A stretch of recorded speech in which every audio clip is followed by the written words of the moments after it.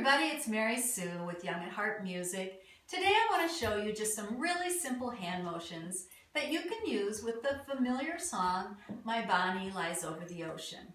This is something you can do with little ones, you can do it with older folks, or really anybody in between. It's that simple. This is a song about going across the ocean, so we're just going to use our hands and make waves. So on the verse, when it talks about my Bonnie lies over the ocean, you're going to make waves.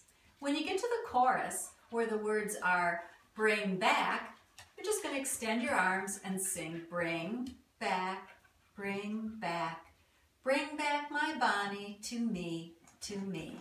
Now I'm going to sing a little bit of it for you while my dog down here is crunching his dinner. And I'm going to sing and show you how the hand motions work.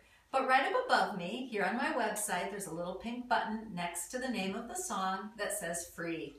That means that you can download this song for free. That's just my little gift to you. It's a song that I recorded on my CD, Songs You Know by Heart. You can buy the whole CD on the website here if you'd like to, or you can download My Bonnie Lies Over the Ocean and add these hand motions. And I hope you have some fun. Here's how it goes. My Bonnie lies over the ocean.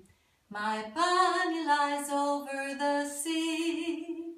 My Bonnie lies over the ocean. Oh, bring back my Bonnie to me.